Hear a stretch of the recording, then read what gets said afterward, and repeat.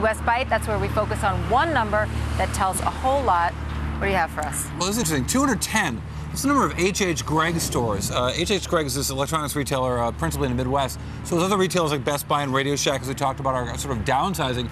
H.H. Gregg has been act, adding stores, uh, 210 stores, up from 111 two years ago. But even though they've nearly doubled the this number of stores, their revenues are only up about 23%. So it shows that it's tough sledding for them as well. So I'm not familiar with these stores because I'm an either coast kind of person, and they're in the center of the country, the pretty much.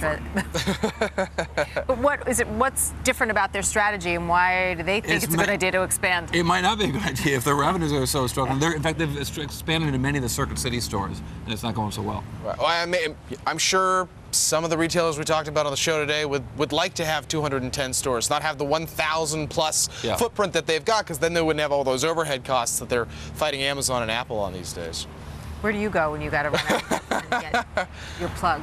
I asked John to get stuff for me. to, to, to, to find stuff for me. Cory's errand boy. Yeah, if only. Which I will gladly do.